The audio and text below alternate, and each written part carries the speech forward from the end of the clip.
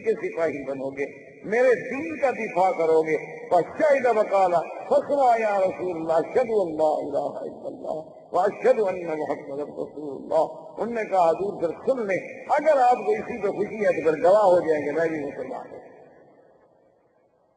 اب حضرت حمزہ بھی مسلمان ہو حضور صلی اللہ علیہ وسلم کا اب دعوت کا زور جب پھیلنے لگا تو کفار قریش اکٹھے ہو کے آئے اور انہوں نے آ کے آپ کے چچا ابھی طالب سے کہا کہ بھائی، یہ کیا بات ہے؟ انہو یہ سب احلامنا وانہو یہ سب اجدادنا وانہو یخالف دیننا۔ کہ محمد مصطفیٰ وہ ہمارے بالکل یعنی وہ کہتے ہیں، ہم سب پاگل ہمارے باپ دادا بھی پاگل تھے اور ہمارے اجداد بھی پاگل تھے جو سب بتوں کی پوجا کرنے آئے۔ اور پھر رات اس کا ہمارے خداؤں کو بھی نہیں معاف کرتا۔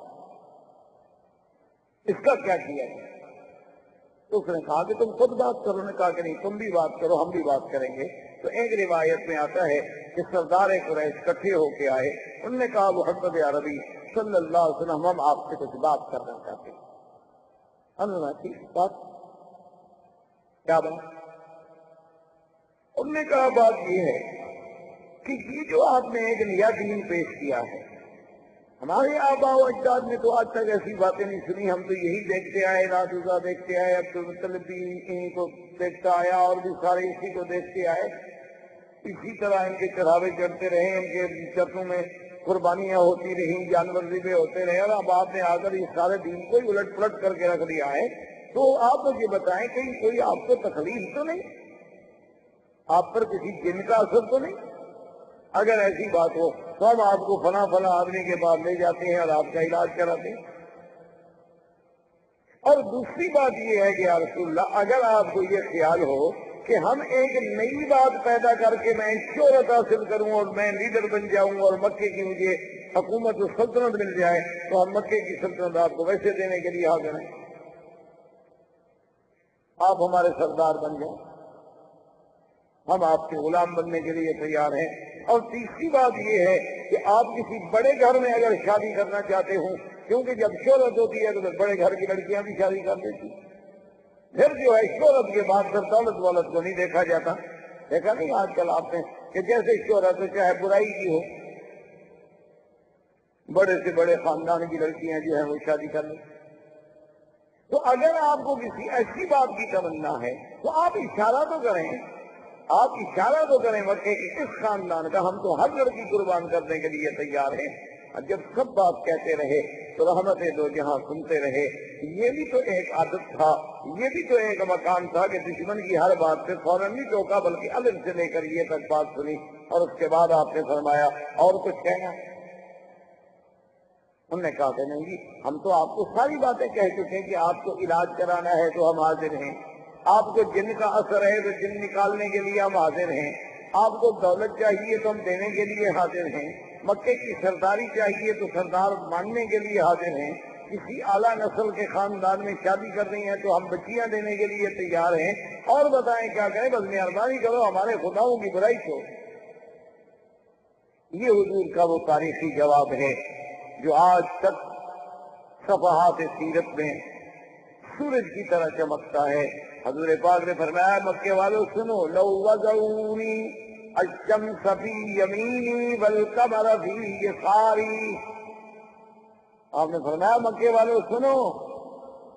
اے قریشیوں، سنو، اگر تم سورج لا کر میرے داہنے ہاتھ پہ رکھ دو اور چاند لا کر میرے بائیں ہاتھ پہ رکھ دو، میں ان کو تو ٹھوکر مار سکتا ہوں، لیکن اللہ کی توحید کی دعوت نہیں چھوڑ سکتا۔ ہوں یہ میں نے پیسوں کے لیے مشن شروع کیا، یہ تو اللہ کا حکم ہے۔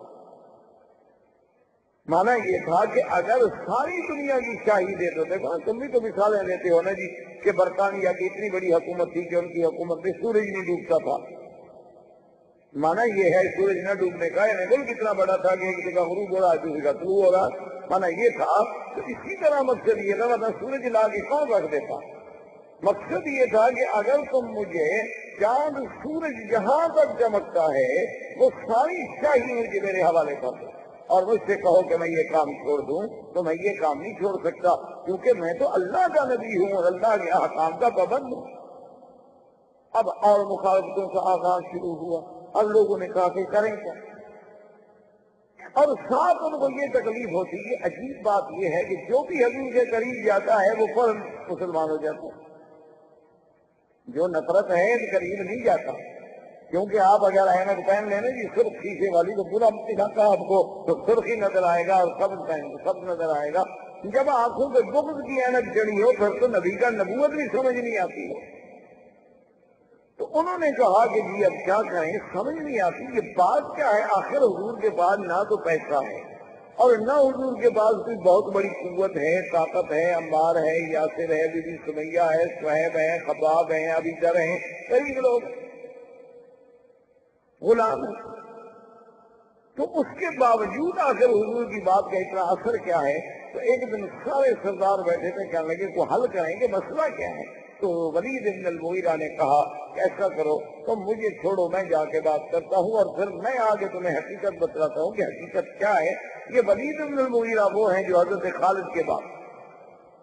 اور یہ قریش مکہ کا بہت بڑا تھا اور دولت کے اعتبار سے بھی بہت بڑا آدمی تھا اس زمانے میں۔ مکے سے لے کر طائف تک اس کے باغات تھے اور زمینیں تھیں اور پیسہ تھا۔ اسی لیے وہ بڑی فخر کرتا تھا انل ولید عبد الولی میں اکیلا ہوں دنیا میں۔ تو وہ آیا حضور کی خدمت میں آ کے بیٹھ گیا، کہنے لگا، حضور میں نے آپ سے باتیں کرنی اور میں بتاؤ، کیا بات؟ اس نے پھر وہی ساری باتیں دوہرائی کہ جی آپ کیوں ہمیں جھوٹا کر رہے ہیں؟ آپ کیوں ہمارے خداؤں کی تدلیل کر رہے ہیں؟ حضور سنتے رہے سنتے رہے، جب بات ختم ہو گئی، حضور نے فرمایا، ولید، تم نے بات ختم کر لی؟ تو ولید نے کہا کہ ہاں یا محمد، میں نے بات ختم کر لی۔ آپ نے فرمایا اچھا بیٹھو، اب میری بات کی سن حضور صلی اللہ علیہ وسلم نے اللہ کے قرآن کی صورت سلسلت پڑھی جب حضور نے قرآن پڑھنا شروع کیا، تو اس آیت میں، ان آیات میں ایک آیت یہ بھی تھی کہ کیا تم اس مقام پر جانا چاہتے ہو کہ جیسے قوم آد پہ اللہ کا عذاب آیا، تم پر بھی آئے؟ جب یہ آئے تو ان کا نہ کبھی اللہ یا محمد، تمہیں اللہ کی قسم، تمہیں ہماری رشتے داری کی قسم، بس کریں بس کریں، میں نہیں برداشت۔ اور وہاں سے ولی دوڑا اسی طرح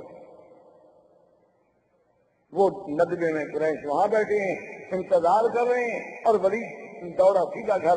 اب قریشی نے کہا کہ ہاں سبا سبا ولی۔ معلوم یہ ہوتا ہے کہ ولید پر بھی اللہ کے نبی کا اثر ہو گیا۔ دیکھو نا، وہ ادھر آنا تھا نا، ہمیں جواب دینے کے لیے، ہمارے بجائے وہ گھر چلا گیا۔ معلوم ہوتا ہے کہ وہ بھی کیا۔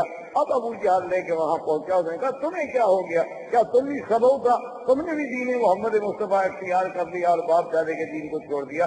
اس نے کہا، چھوڑو ان باتوں کو، یہ باتیں نہ کرو۔ تو اس نے کہا کہ جادوگر اس نے کہا، کیا کہتے ہو؟ میں سب سے زیادہ جادو کو جاننے والا ہوں۔ انہوں نے کہا، شاعر ہے۔ انہوں نے کہا، واللہ، انا عرف بکلام الشعراء۔ میں زیادہ شعراء کو جاننے والا ہوں۔ انہوں نے کہا، جادوگر بھی نہیں۔ شاعر بھی نہیں، تو کاہن ہے۔ انہوں نے کہا، چھوڑو، کیا کہتے ہو؟ کاہن گندے پلیت رہنے والے لوگ ہیں۔ محمد عربی کا کہان سے کیا تعلق ہے؟ تو انہوں نے کہا، آخر وہ کیا ہے؟ انہوں نے کہا، بات سنو، وہ جو کہتا ہے، کہتا سچ ہے۔ اور جو قرآن اس نے پڑھا، ان علیہ حالات خدا کی قسم، اس میں ایسی مٹھاس تھی۔ اس میں ایسی مٹھاس تھی وہ وَإِنَّ عَلَيْهِ لَتَلَاوَةٌ وَإِنَّ أَعْلَاهُ لَمُخْبِرٌ۔ وَإِنَّ أَسْفَلَهُ لَمُخْبِقٌ وہ تو ایسا کلام تھا کہ اس نے تو میرا سب کو چڑا کے رکھ لیا اور میں تو یہ سمجھا کہ کہیں اب عذاب ہم پر نازل نہ ہو جائے۔ خدا کی قسم وہ جو کہہ رہا ہے وہ کسی بندے کا کلام ہے۔ انہوں نے کہا، دیکھا، ہم تو کہتے تھے نا، کیا کیا، تم بھی تو اب جا رہے ہو نا۔ کہا، نہیں نہیں، میں نے خیر اپنا دین تو نہیں چھوڑا، لیکن جو بات سچی ہے وہ شاید ہے۔ وہ شاید تو اب ابو جہل نے اسے تانے دے کر روکنے کی کوشش کی کہ اس کو غیرت دلاؤ کہ اچھا یار تم تو بڑے سردار بنتے تھے۔ ایک بات سنی اور تم بھی ختم ہو گئے۔ نہیں نہیں نہیں، میں اپنے دین پہ قائم وہ ضد میں آ گیا نا پھر ابو جہل جانتا تھا کہ اس کی غیرت کو بھارے گا، نہیں ہے تو کیا آپ سے یہ بھی مسلمان ہوتا ہے۔ کیونکہ جو بھی حضور کے قریب جاتا ہے اور جو بھی حضور صلی اللہ علیہ وسلم کے پاس بیٹھتا ہے اور جو بھی سرکار دو عالم کی زبان مبارک سے اللہ کا کلام سنتا ہے، وہ تو اسی وقت ختم ہو جاتا ہے۔ اور کیسے نہ ہو، کلام اللہ کا ہو اور زبان محمد کی ہو۔ صلی اللہ علیہ وسلم۔ یعنی آپ اندازہ فرمائیں کہ آج صدیاں بیت گئی، آج ایک اچھا کاری قرآن پڑھے تو انسان کا دل جھوم جاتا ہے۔ لیکن وہ کتنا خوش نصیب لوگ ہوں گے کہ جنہوں نے خود اللہ کا قرآن